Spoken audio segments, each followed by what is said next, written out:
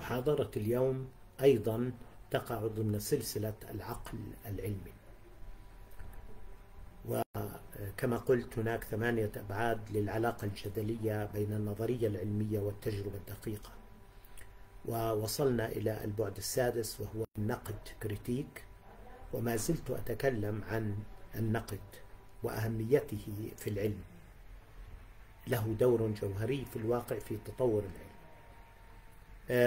وتكلمت في الواقع يعني في المحاضرات الست الأخيرة حول النقد مثلا في العلم القديم ثم لدى كوبرنيكوس ثم لدى تايكو ثم بدأت بالكلام عن النقد الذي وجهه غاليليو إلى العلم القديم وفجره من أساسه. ما زلنا إذا نتكلم عن غاليليو غاليليو في الواقع حقق آه، يعني مارس النقد بالتلسكوب ومارس النقد أيضا بالتجارب الفكرية وبالتجارب الحقيقية وبالتنظير الرياضي. نقد آه، نقد العلم القديم بكامله وأتى عليه ودمره ونسفه وأقام على أساسه قاعدة العلم الحديث. وبينت في الواقع جوانب متعددة لهذا النقد. آه، وصلت بالنهاية إلى قانون القصور الذاتي. الذي توصل إليه غاليليو آه، كل القصور الذاتي لم تعرفه ميكانيكا أرسطو. الميكانيكا الأرسطية لم تعرف القصور الذاتي مطلقا. بالنسبة إلى العلم الأرسطي أو إلى فيزياء أرسطو الجسم إذا لم تكن هناك قوى تؤثر عليه آه، لا يتحرك. القوة تولد الحركة. الآن نقد آه، هذه الفكرة وتوصل إلى أن القوة لا تولد الحركة في حد ذاتها. يعني يمكن أن يكون لدي حركة من دون أن تكون هناك قوى مؤثرة على الجسم وإنما القوة تولد التسارع.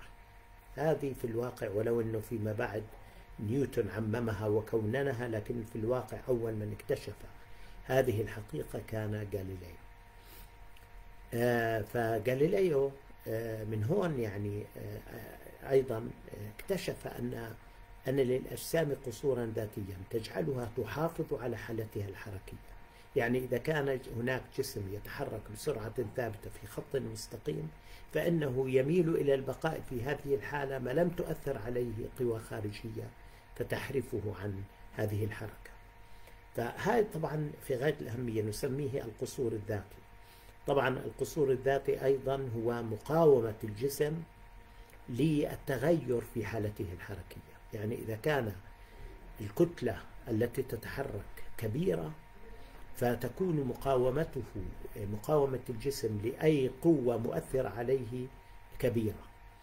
آه، يعني آه، لا يحيد بسهولة عن حالته الحركية بسرعة ثابتة في خط مستقيم.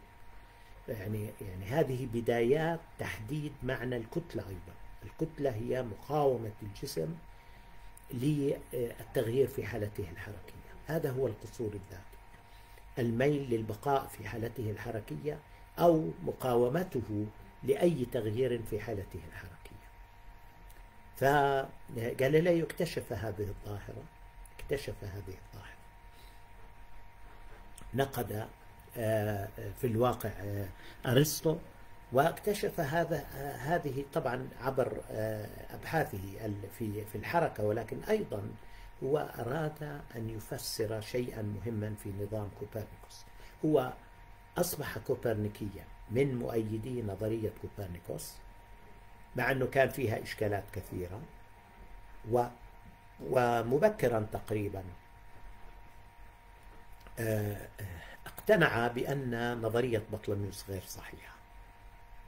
ولكن كان هناك في إشكال في نظرية كوبرنيكوس إشكال كبير في نظرية كوبرنيكوس في أكثر من إشكال. آه ولكن الإشكال الذي لفت نظر غاليليو كان أنه لماذا لا نشعر بحركة الأرض؟ الآن البطلميون كانوا يقولون والأرسطيون يا أخي كان لو كانت الأرض تتحرك بهذه السرعة حول نفسها وحول الشمس لشعرنا بهذه آه بهذه الحركة ولا ويعني ولم يقتصر ولكان لكان الأثر لا يقتصر على الشعور وإنما كان هناك ظواهر يعني ستكون واضحة يعني كان كل تجربتنا على سطح الأرض ستكون مختلفة عما نشاهده ونراه. جاليليو في الواقع أراد أن يبرهن. يعني وأدرك أن هذه صعوبة في نظرية كوبرنيكوس إذا ظللنا ملتزمين بنظرية أرسطو في الحركة. نظرية أرسطو في الحركة التي لا تعرف القصور الذاتي والتي تظن آه، التي ترى أن الحركة لا تتم إلا بالقوة بصورة مباشرة أي أنه يعني آه، الجسم لا يتحرك آه، إذا لم آه، يكن متحركا معنى ذلك أنه لا تكون هناك قوة مؤثرة عليه والعكس بالعكس بمعنى أن أي حركة تفيد بأن قوة تؤثر على الجسم. غاليليو في الواقع أراد أن يبين أننا لا نشعر بصورة عامة بالحركة المنتظمة. لا نشعر بالحركة المنتظمة بفعل القصور الذاتي للأجسام. لا نشعر بالحركة. يعني الأرض قد تكون سرعتها عالية جدا ولكن لا نشعر بها. نحن نشعر بالتسارع بتغير الحركة ولا نشعر بالحركة نفسها. هذا طبعا نلاحظها في طيارة مثلا. نشعر بحركة الطيارة عندما تقلع الطيارة وعندما تهبط. ولكن في هذه الأثناء عندما تكون متحركة بسرعة ثابتة في خط مستقيم لا نميز بين بين حالتها الحركية وبين حالة الحالة الحركية على سطح الأرض عندما يكون هناك سكون بالنسبة إلى سطح الأرض. يعني بعبارة أخرى آه، لا نشعر بالحركة إلا إذا كانت متسارعة. أما الحركة المنتظمة في خط مستقيم فلا نشعر بها. غاليليو أراد أن يبين معقولية آه، نظام كوبرنيكوس على هذا الأساس. قال إننا لا نشعر بحركة الأرض. هذه طبيعة الحركة القصور الذاتي يمنعني من أن آه، أشعر بحركة الأرض. أنا لا أشعر نعم بحركة الأرض. صحيح طبعا غاليليو لم يكن يدرك أن هناك تسارع أن الأرض تتسارع في حركتها حول نفسها وحول الشمس. ولكن نحن نعلم اليوم أن هذا التسارع يكون ضعيفا جدا ولذلك لا نشعر به بصورة عامة. لكن غاليليو بالنسبة إليه الحركة الدائرية كانت حركة طبيعية وهذا كان خطأ لديه. الحركة الدائرية حركة طبيعية. فقال إذا كان الجسم يتحرك حركة طبيعية فلا أشعر بسرعته لا أشعر بحركته مهما كانت كبيرة. ما أشعر به هو التسارع هو التغير في الحالة الحركية. وهذه الفكرة صحيحة. وهذه تعود إلى فكرة القصور الذاتي الإنارشيا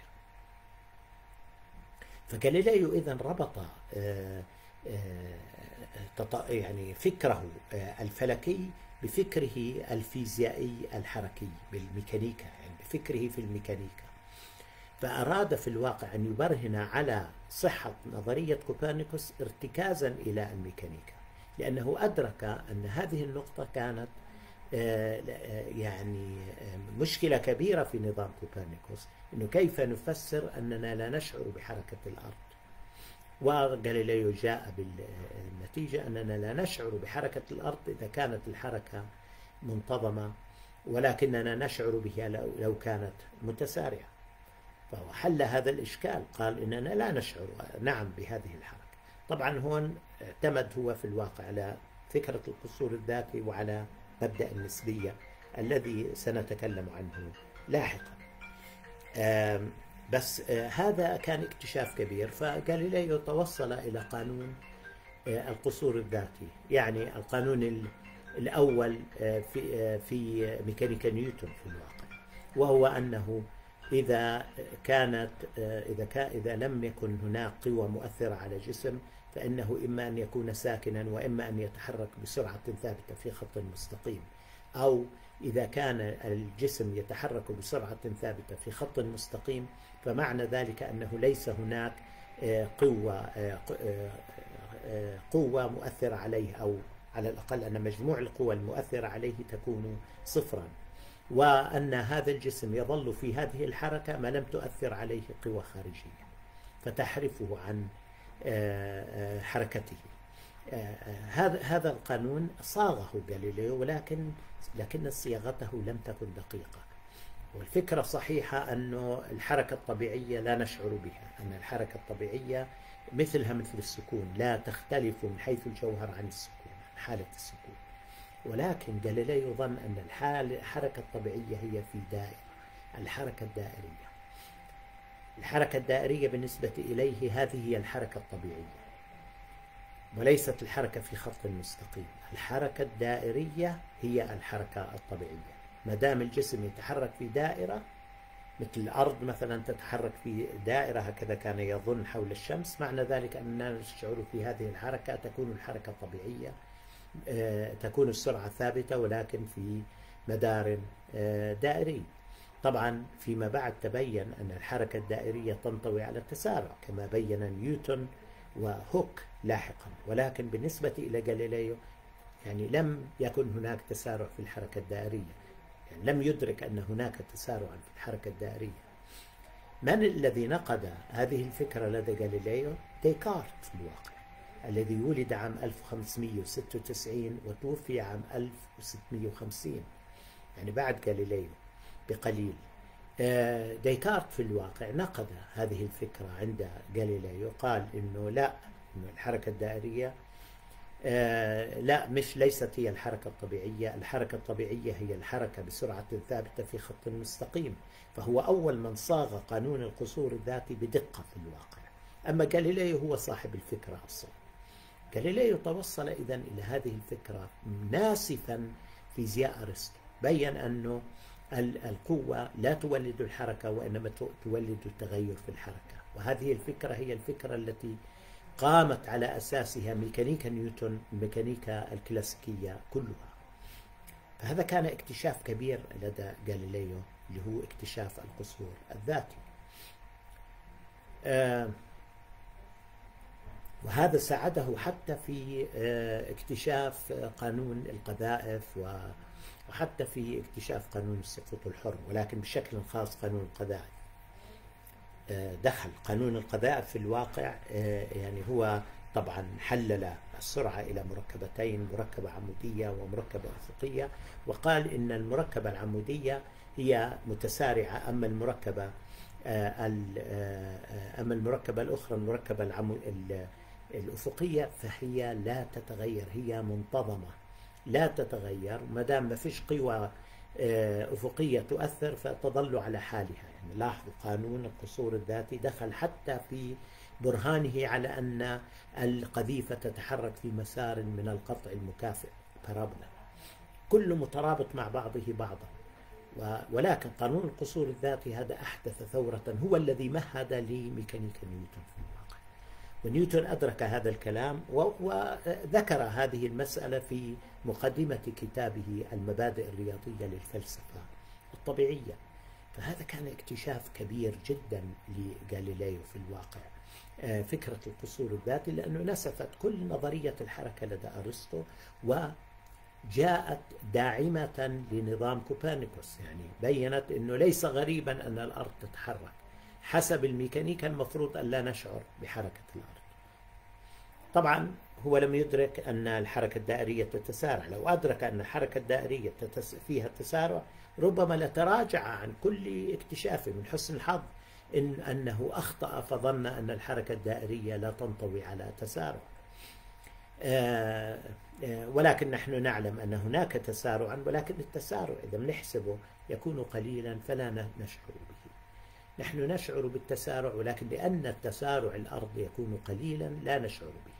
وطبعا الأصل عند غاليليو أننا لا نشعر بالسرعة إذا كانت سرعة منتظمة أي وإذا كان آه، كانت آه، الحركة في دائرة.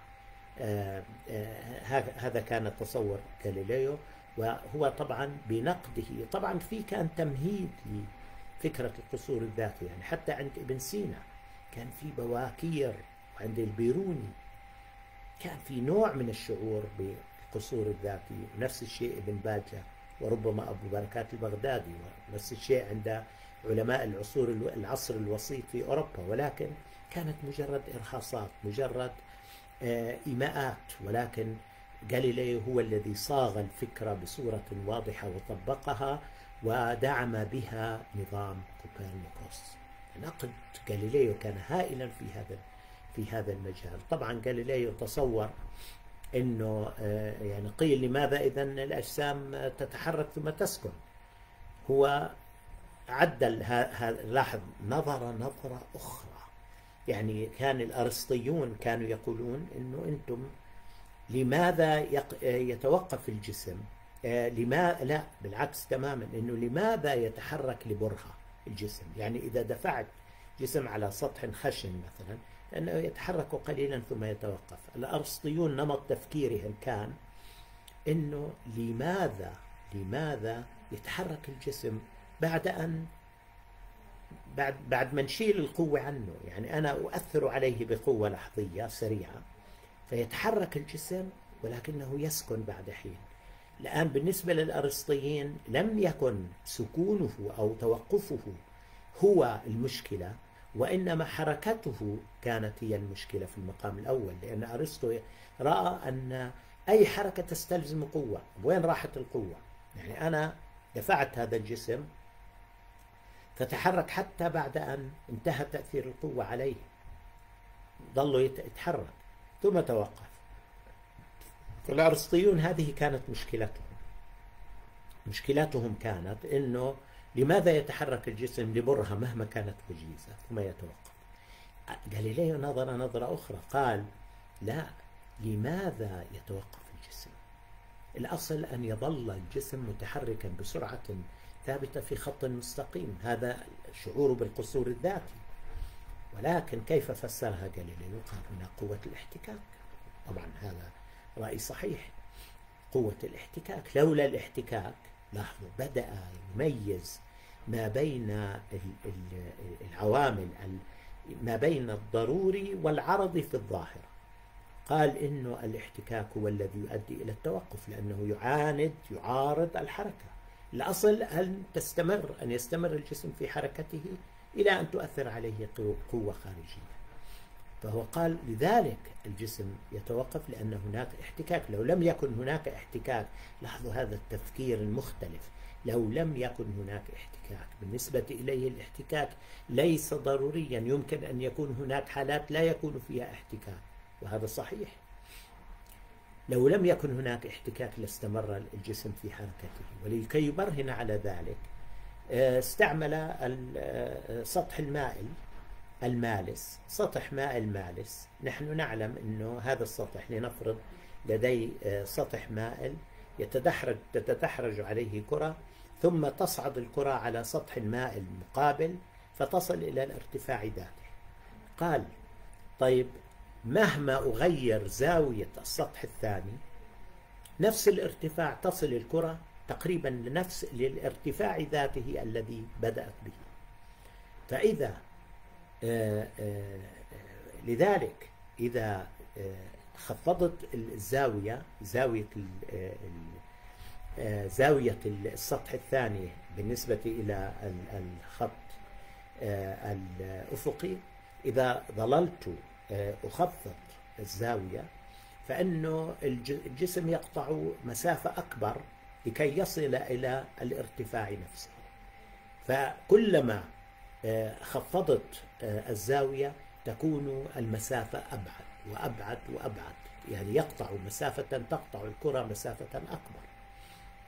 فقال إذا إذا خفضت الزاوية إلى الصفر أي إذا حصلت على سطح آه، غير مائل أي على سطح أفقي وكان مالسا جدا معنى ذلك أن الكرة ستظل تتحرك آه، ستظل تتحرك لمسافة طويلة ولأنه يكون هناك بعض الاحتكاك بالنهاية تتوقف ولكن لو لم يكن هناك لو كان السطح مالسا 100% فمن الواضح أن الكرة ستظل تتدحرج بالسرعة ذاتها في خط مستقيم إلى إلى الأبد.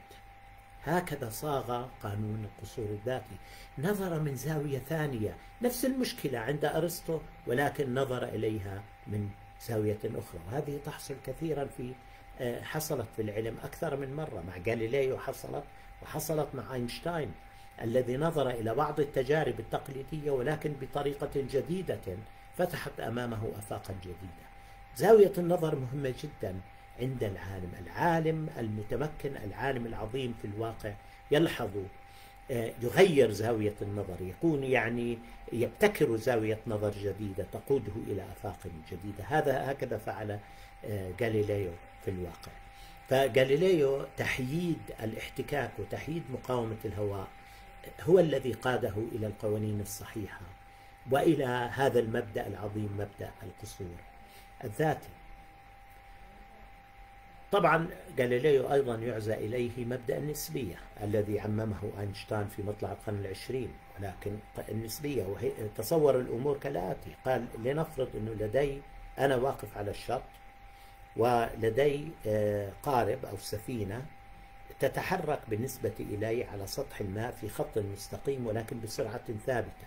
طبعا هذا وضع مثالي السفينة عادة آه، آه، تهتز مثلا.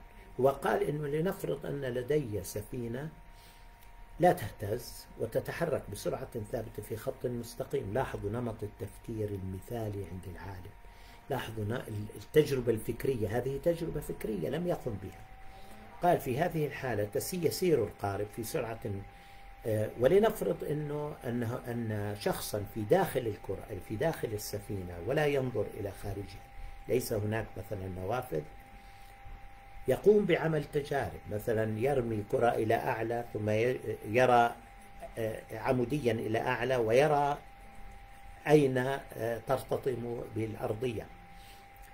وكل التجارب الميكانيكية الأخرى يمكن أن يجريها. قال غاليليو سيجد سيجد الشخصان أن آه، القوانين نفسها تنطبق في هذا مرجع الإسناد اللي هو الشط ومرجع إسناد السفينة المتحركة نفس الشيء يعني لا يستطيع ال الذي يكون في في السفينة لا يستطيع أن يقرر ما إذا كان على الشط أو في السفينة من التجارب التي يجريها في داخل السفينة.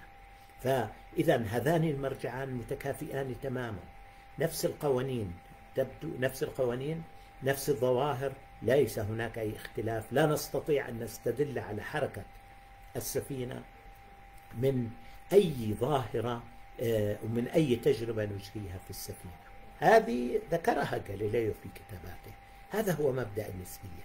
أن مراجع الإسناد القصورية أي التي تتحرك بسرعة ثابتة آه، في خط مستقيم بالنسبة إلى بعضها بعضا لا نستطيع أن نميز بينها ولا نستطيع أن نستدل على حركتها على حركة على حركة مطلقة لها كلها مكافئة لبعضها بعضا وقوانين الطبيعة لا تتغير إذا انتقلنا من مرجع إسناد قصري إلى آخر.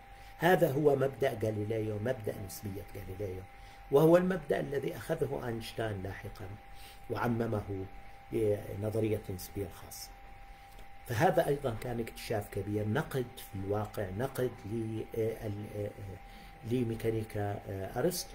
هذه الظاهرة مش موجودة في نظرية في ميكانيكا أرسطو ولكن هو عارض ميكانيكا أرسطو قال ليس لدي حركة مطلقة.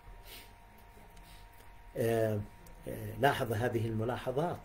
ومن ضمن طبعا أنا سبق وذكرت أيضا أنه اكتشف أن الأجسام كلها تسقط على سطح الأرض بالكيفية ذاتها إذا أهملنا مقاومة الهواء بمعنى أنها تتسارع بالكيفية ذاتها آه، وتسقط بالكيفية ذاتها بصرف النظر عن كتلها. هذا طبعا فيما بعد أينشتاين أخذ هذه هذا المبدأ وعممه عام 1907 فيما أخذ يعرف بمبدأ التكافؤ equivalence principle الذي شكل أساسا لنظرية النسبية العامة. هذا سبق وذكرت هذه المسألة في محاضرات سابقة ويمكن أن أتطرق إليها في محاضرات لاحقة. ولكن فهكذا إذا النقد الدور الذي أداه آه، لدى غاليليو آه، طبعا النتيجة نتيجة هذا النقد كان تحطيم الميكانيكا القديمة والعلم القديم كله تقريبا كله. دمره غاليليو في الواقع وأقام على أساسه ومش بس دمره وإنما في الوقت ذاته أقام على أساسه قاعدة العلم الحديث منهجيا ومبادئ من حيث المنهج والمبادئ. فالمرة القادمة آه، قد أتطرق إلى ديكارت ونيوتن سأتطرق إلى ديكارت ونيوتن ولايبنتس والدور الذي أداه النقد في آه، آه، عمله في عملهم العلمي والفكري. فإلى اللقاء في محاضرة قادمة.